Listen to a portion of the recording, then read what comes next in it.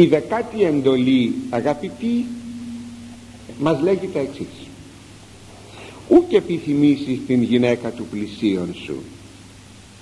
Ούκ επιθυμήσεις την οικία του πλησίον σου. Ούτε τον αγρόν αυτού ούτε τον πέδα αυτού ούτε την παιδίσκην αυτού ούτε του βοός αυτού ούτε του υποζυγίου αυτού ούτε παντός κτίνους αυτού ούτε όσα το πλησίον σου εστί. Δηλαδή δεν θα ποθήσεις να έχεις δική σου την γυναίκα του πλησίον σου. Δεν θα ποθήσεις επίσης το σπίτι του συνανθρώπου σου ούτε το χωράφι του ούτε τον δούλον του ούτε τη δούλη του ούτε το βόδι του ούτε τον όνον του ούτε οποιοδήποτε κατοικίδιον ζώων του. Γενικά δεν θα επιθυμήσεις να έχεις όσα ανήκουν εις τον πλησίον σου διότι σύντομα η επιθυμία αυτή θα σε οδηγήσει και σε πράξεις αμαρτωλές αυτά αγαπητοί μου λέγει ο παλαιός νόμος. Πρέπει να σας πω όμως ότι η δεκάτη εντολή συνδέει την Παλαιά Διαθήκη με την Καινή Διαθήκη. Έμεινε τελευταία σαν ένα είδος γεφύρας που θα συνέδε των παλαιών νόμων με τον καινούριο νόμο με την χάρη καλύτερα ή με τις εντολές που αναφέρονται στην Καινή Διαθήκη. Η δεκάτη εντολή δίδει μία εσωτερικότητα και ένα βάθος στις πράξεις των προηγουμένων εντολών. Είναι γνωστό ότι όταν ο Κύριος αναφέρεται στον παλαιό νόμο στην επί του όρους ομιλία του δίδει βάθος πάντοτε εσωτερικών και δεν μένει μόνο απλώς στην διάπραξη μιας ε, αμαρτίας. Όταν επί παραδείγματι έναντι του πολιτιακού νόμου ο πολίτης είναι εντάξει εφόσον δεν διαπράξει κάποιο ημαρτημένο ο νόμος μένει ανένταρρυκτος απέναντί του. Εάν αυτός ο πολίτης εσκέπτεται να φωνεύσει τον γειτονά του ή να διαρρήξει το σπίτι του. Απλώς γιατί το σκέπτεται ο νόμος μένει ανενέργητος. Πότε ενεργεί ο πολιτιακός νόμος όταν συμβεί το αποτέλεσμα οι πράξεις. Με άλλα λόγια οι ανθρώπινοι νόμοι δεν ενδιαφέρονται για το πως σκέπτεσαι ή το πως επιθυμείς αλλά το πως πράττεις αντιθέτως ο νόμος του Θεού δεν ενδιαφέρεται το τι θα πράξεις αλλά και το πως σκέπτεσαι και το πως επιθυμείς. Και μάλιστα αυτός ο Κύριος κατέρχεται εις αυτά τα μυστικά βάθη της ψυχής αυτά που θα λέγαμε με μια σύγχρονη έκφραση υποσυνείδητο.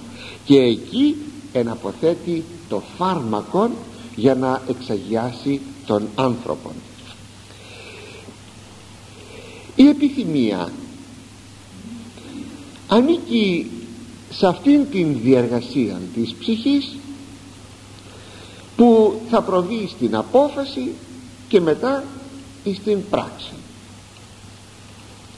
Όταν επί παραδείγματι ε, και μας κάνει πολύ εντύπωση αυτό γιατί η δεκάτη εντολή επεκτείνεται σε μία περιπτωσιολογία. Όταν επί παραδείγματι η δεκάτη εντολή αναφέρεται στην σύζυγον ενός ανθρώπου λέγει δεν θα επιθυμήσεις την σύζυγον του πλησίον σου αυτό τι σημαίνει; Ή όπως παρακάτω θα πει δεν θα επιθυμήσεις το σπίτι ή το χωράφι του πλησίον σου ή δεν θα επιθυμήσεις ε, το ζωντανό του το βόδι του και τα λοιπά. Εδώ τι θέλει να πει και πέφτει σε αυτήν την περιπτωσιολογία. Άραγε είναι κάτι πλέον αστικό όχι αγαπητοί μου. Θέλει να υπενθυμίσει ότι όσον αφορά στην σύζυγο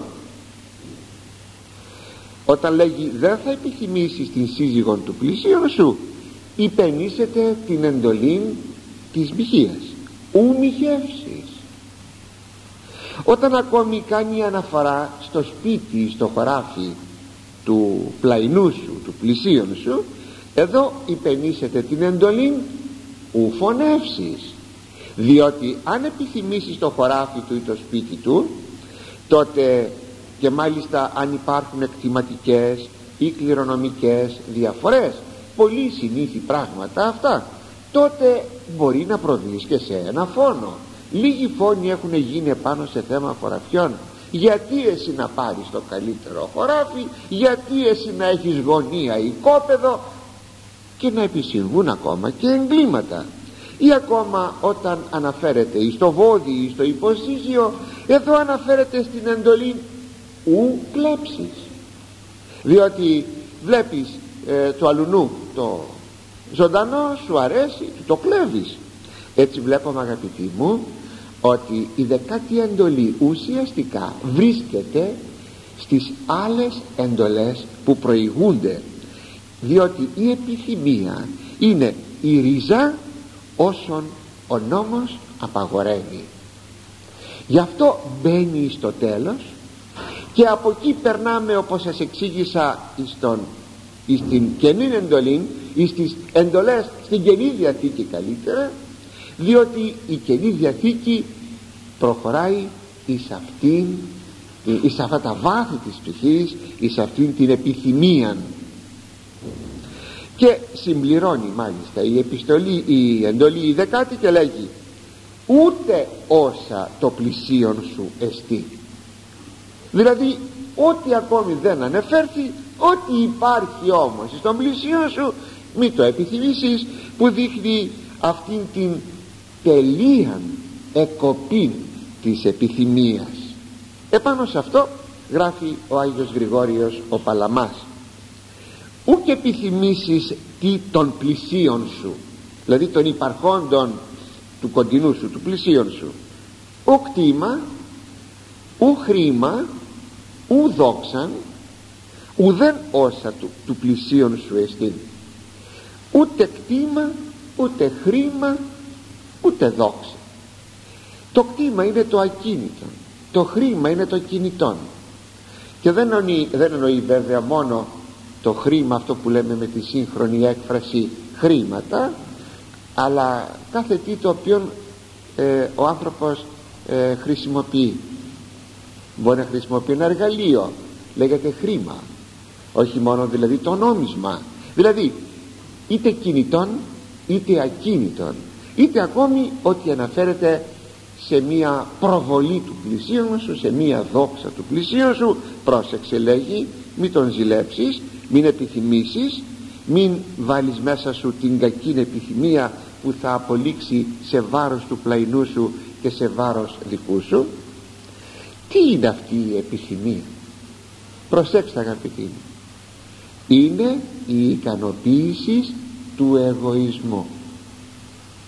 Τι είναι η επιθυμία; Είναι η ικανοποίηση του εγωισμού και συνεπώς μεταπτωτικών φαινόμενων. Δηλαδή φαινόμενων που είναι μετά από την πτώση των πρωτοπλάστων.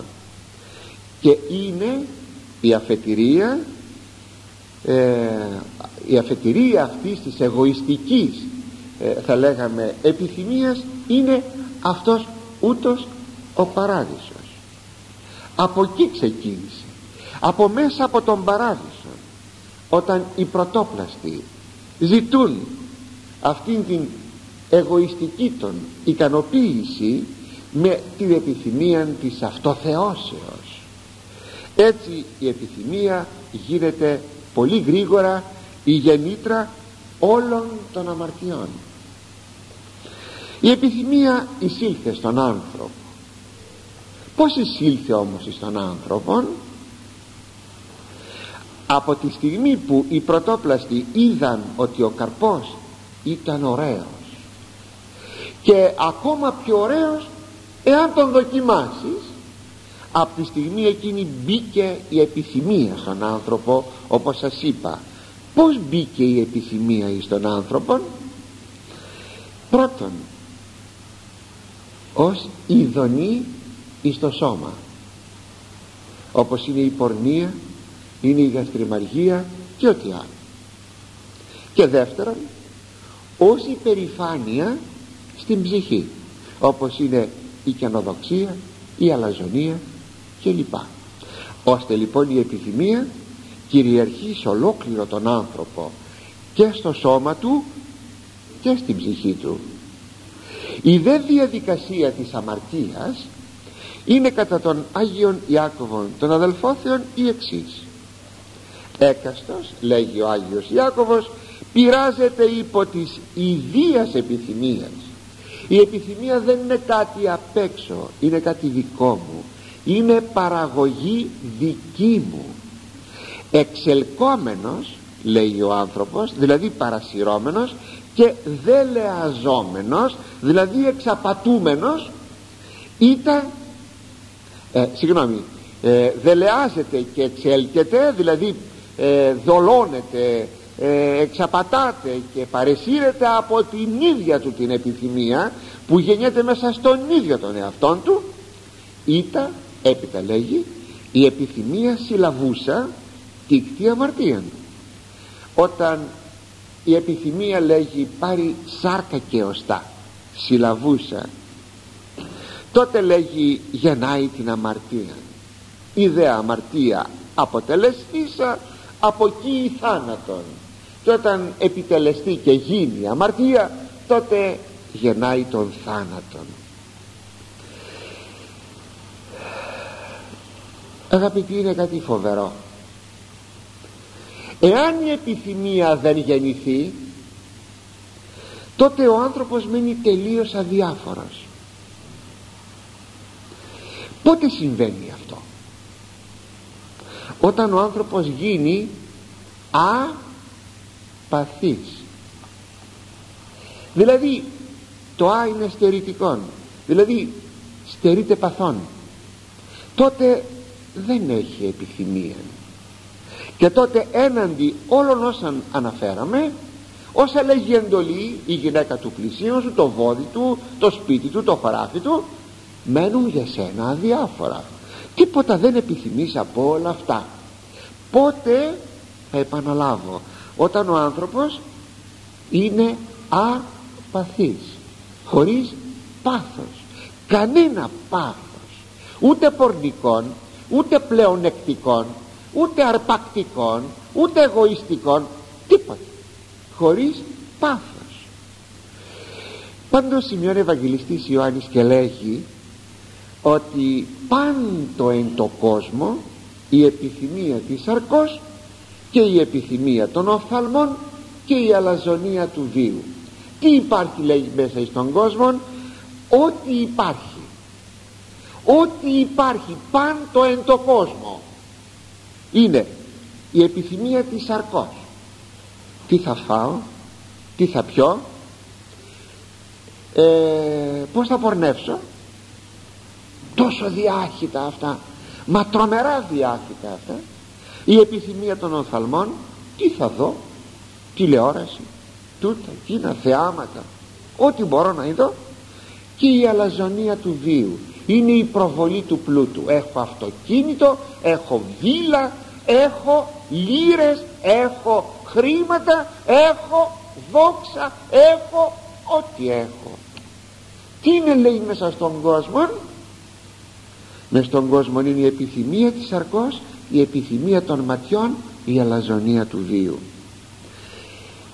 Γι' αυτό πολλοί θα ήθελα να φεύγουν από τον κόσμο. Γι' αυτό ακριβώς μόνο έξω από τον κόσμο μπορεί να κόψει κανείς αυτά θα μου πείτε τότε είναι τελείως αδύνατο να κοπούν αυτά μέσα εις τον κόσμο όχι αγαπητοί μου δεν είναι τελείως αδύνατο ούτε είναι ουτοπία. Εγώ τουλάχιστον δέχομαι ό,τι δέχονται και οι πατέρες. Κάποτε ο Άγιος Γρηγόριος ο Παλαμάς ε, περί του οποίου και ο λόγος και του οποίου και η ανάλυσης ε, υπεστήριζε ότι το, η νοερά προσευχή δεν ταιριάζει μόνο στους μοναχούς αλλά ταιριάζει και στους λαϊκούς. Και κάποιος ονόματι Ιώβ μοναχός υπεστήριζε το εναντίον και μάλιστα αντετίθετο εις τον Άγιον Γρηγόριον τον Παλαμά που ευρίσκεται εις την Βέρεια εκεί σε μια σκήτη.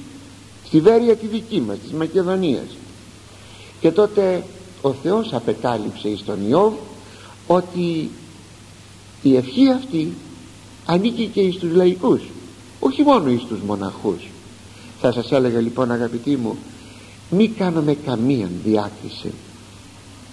Ο χριστιανισμός εγώ δεν κάνω διάκριση. Όπως και ο Άγιος Γρηγόρης ο Παλαμάς δεν κάνει διάκριση.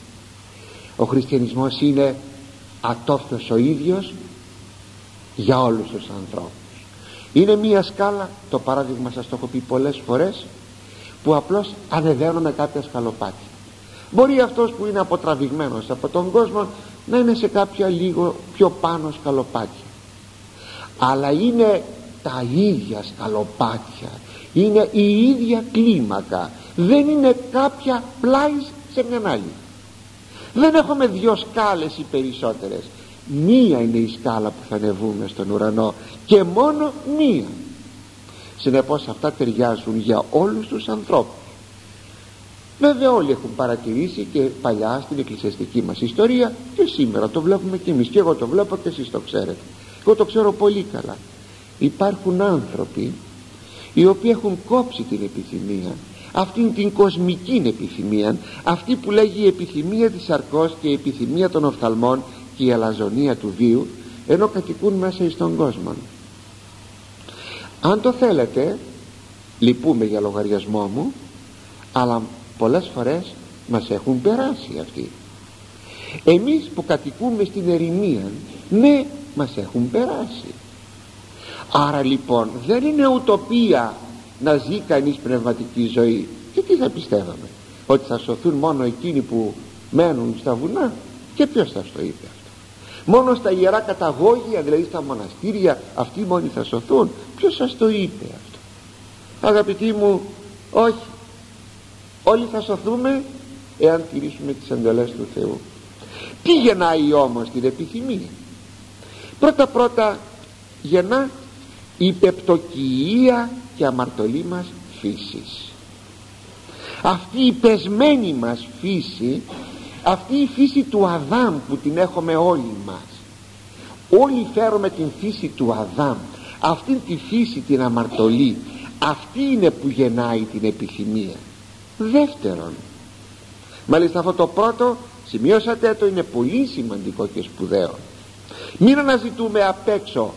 Τα απ' έξω είναι συμπληρώματα. Θα σας το πω λίγο πιο κάτω. Αυτό που είναι μέσα μας. Αυτό είναι. Αυτό πρέπει να προσέξουμε.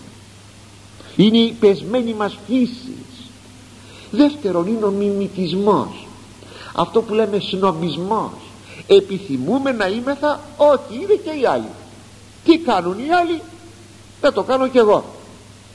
Εδώ βλέπουμε ο άνθρωπος να κατέχεται από δύο αντιφατικά αισθήματα. Την ομοιομορφία και το ξεχώρισμα. Τι κάνουν οι άλλοι θα το κάνω κι εγώ. Τι κάνουν οι άλλοι κάνουν αυτό. Εγώ θα κάνω κάτι διαφορά για να ξεχωρίσω. Διαφορετικό για να ξεχωρίσω τι σημαίνει αυτό ξέρετε αυτό είναι μέσα από την ίδια τη φύση του ανθρώπου γιατί εκφράζει την κοινή μας φύση και την παρουσία των προσώπων τα οποία είναι ανεπανάληπτα γι' αυτό θέλουμε κάτι το ξεχωριστό. Ξεπηδάει μέσα από την ίδια μας τη φύση. Ακόμα. Η ζηλοτυπία. Επιθυμεί ο άνθρωπος την μοναδικότητα του κεκτημένου αυτό που έχω να μην το έχει ο άλλος. Δηλαδή επιθυμώ επιθυμώ αυτήν τη μοναδικότητα ώστε να ξεχωρίζω έναντι των άλλων ένα πολύ απλό μικρό παράδειγμα. Όταν μια κυρία έχει ένα κέντημα στο σπίτι της το θεωρεί μοναδικό. Στοιχηματίζω αν επιτρέπετε να μιλήσω έτσι έχω ακροατήριο πολλές κυρίες ότι δεν ξέρω αν καμιά ξέφυγε από αυτό που θα πω τώρα. Και μια άλλη φιλενάδα της τη ζητάει το σχέδιο. Αν δεν το δίνει και δεν το δίνει για να έχει μοναδικότητα το κεντημά της. Αυτό λέγεται ζηλοτυπία. Δηλαδή είναι επιθυμώ την μοναδικότητα αυτού που έχω να μην το έχει ο άλλος. Τέταρτον είναι ο φθόνος ο φθόνος είναι το αντίστροφο της ζηλοτυπίας επιθυμώ αυτό που έχει ο άλλος. Όχι να έχω τη μοναδικότητα των όσων έχω. Φερρυπίν ο σύζυγος είναι ζηλιάρης γιατί έχει τη γυναίκα του και δεν θέλει να την έχει κανείς άλλος. Αλλά ο φθόνος είναι αυτό που έχει ο άλλος και δεν το έχω εγώ να το αποκτήσω. Γιατί αυτός και όχι εγώ πέμπτον είναι η πλεονεξία. Νομίζω ότι αυτή κατέχει την πλειοψηφία αγαπητοί μου στα θύματά της και μάλιστα ανάμεσα στους χριστιανούς. Και πλεονεξία σημαίνει να ζητάω το παραπάνω από ό,τι έχω. Πλέον έχω πλέον εξία να έχω το παραπάνω από εκείνο το οποίο έχω ανάγκη. Ένα τρομερό παράδειγμα στην Αγία Γραφή αγαπητοί μου είναι τα λεγόμενα μνήματα της επιθυμίας. Λυπούμε είναι μεγάλο θέμα. Ε, μόνο με δύο λόγια θα σας το πω. Είναι στο βιβλίο αριθμοί στην Παλαιά Διαθήκη. Ε, στο κεφάλαιο 11 ανάμεσα στους στίχους 18-20 και πέρα. Είχε συμβεί το εξής. ο, εμί, ο επίμικτος λέγει λαός εκείνοι οι Αιγύπτιοι που έφυγαν μαζί με τους Εβραίους και ήσαν ε, δυσαρεστημένοι με τους Αιγυπτίους αυτοί λέει επεθύμησαν επιθυμίαν και καθίσανε σε έκλεον. Είδατε επεθύμησαν επιθυμίαν. Τι επεθύμησαν; Ακούστε τι σημάς ψωμί ή κρέας; Κρέα; Ποιος θα μας βάλει θα μας ταΐσει κρέας; Εμνίστημεν τους ηχθείας θυμηθήκαμε τα ψάρια στην Αίγυπτο. Ους ισχύομεν εν Αιγύπτο δωρεάν που τα τρώγαμε δωρεάν τα ψάρια εκεί. Και τους οικίους τα αγγούρια και τους πέπονας και τα πράσα και τα κρόμια και τα σκόρδα αυτά θυμήθηκαν και επεθύμησαν αυτά. Ποιος θα μας δώσει κρέας; Και άρχισαν να κλαίνε βέβαια είναι μεγάλη ιστορία να μην, γιατί να μην αργήσω. Το θέμα είναι ότι ο Άγιος ε, ο Θεός αγαπητοί μου λέει λέει είδα την, ε, την κατάστασή τους. Θα τους δώσω κρέας που θα τους βγει από τα ρουθούνια έπεσε ορτιγομήτρα έφαγαν μάζεψαν μάζεψαν. Λέγει ε, το λιγότερο που μάζεψε ένα άτομο ήταν 2.000 κιλά. Φρίξον ήλιο. Ένα μέτρο λέει ήταν τα, τα, τα που πέσανε μέσα στο στρατόπεδο. Και τα έκαναν τα λείπαναν ε, συγγνώμη ε, τα έκαναν αλίπαστα με, με αλάτι. Αλλά ήταν πλημελής η κατασκευή και ενώ λέει τρώγαν ακόμα ήταν στα δόντια τους.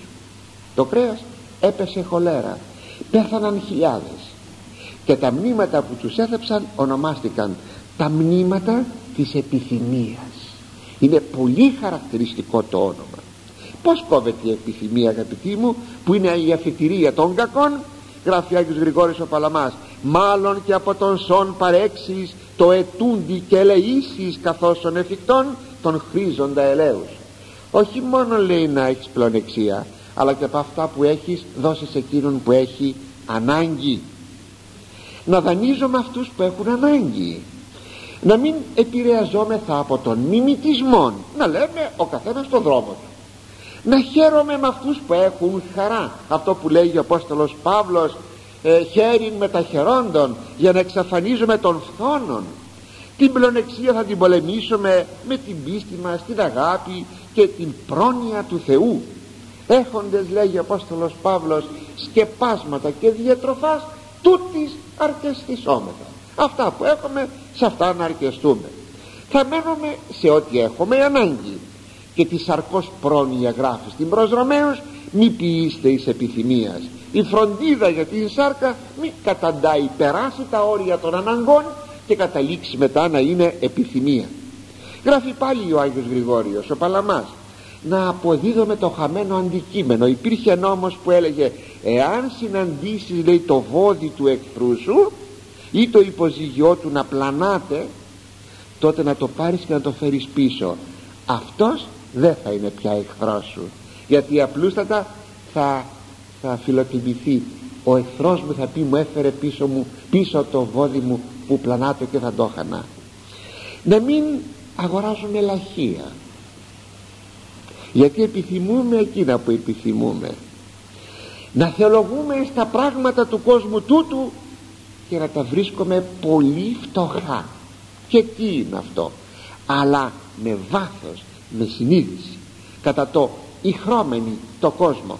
Τούτο ως μη καταχρώμενοι αυτοί που κάνουν χρήση του κόσμου να μην κάνουν κατάκριση, κατάκριση μεταπτωτικός είπαμε αγαπητοί μου αποκτήσαμε την επιθυμία. Τουλάχιστον αφού την έχουμε όλοι μεταπτωτικός. Την επιθυμία τουλάχιστον να την εξαγιάσουμε. Ας αρχίσουμε να επιθυμούμε τον Χριστόν ο οποίος κατά το άσμα ασμάτων φάρινξ αυτού γλυκασμή και όλος επιθυμία. Είναι ό,τι λέγει στο Ευαγγελιό του. Είναι αυτό τούτο το πρόσωπό του είναι η επιθυμία της Βασιλείας του Θεού. Είναι η επιθυμία της κοινωνίας των Αγίων. Είναι η επιθυμία στην καθημερινότητα Αγίων πραγμάτων και υποθέσεων. Είναι η επιθυμία της πνευματικής ζωής και της αγιότητας.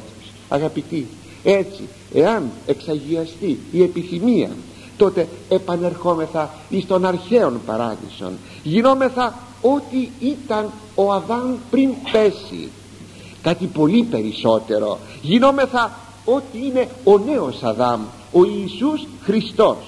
Γινόμεθα Χριστοειδείς γινόμεθα Θεοειδείς και όλα αυτά όταν αρχίσουμε να εργαζόμεθα κατά την εντολή των παράδεισων δηλαδή την εργασία των δέκα εντολών και να φυλάτουμε τον παράδεισον κατά την εντολή δηλαδή την τήρηση των δέκα εντολών και τότε δεν θα γεννηθεί η επιθυμία να γευτούμε των παράλογων καρπών που φέρει τον θάνατον. Τότε θα έχουμε ζήσει